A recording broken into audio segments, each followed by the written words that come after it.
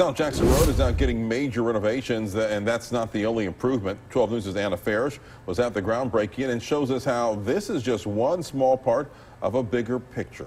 Anna? Now, this may not look like a lot right now, but in just a few months, John R. Lynch Street is going to look completely different.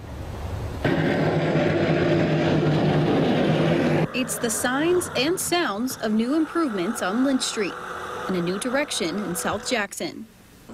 If you look at everything that's taking place, what we are doing as a city is no longer chasing projects. We're chasing a collective vision. That vision? Bringing some much needed change.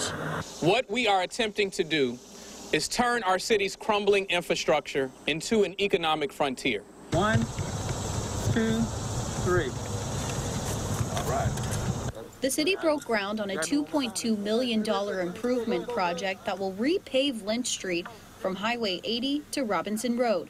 But that's not all. Crews are also rebuilding a new trail that will convert an old railroad line into a 10-foot wide multi-use path running from Yarborough Street to West Highland Drive.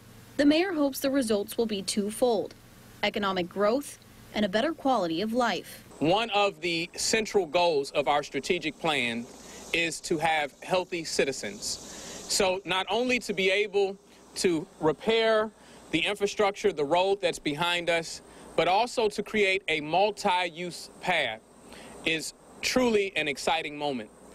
Now, the mayor and city officials say this is just one small piece of the puzzle as to where they want to see the city go, and the project will take about four to five months. In Jackson, Anna Farish, 12 News.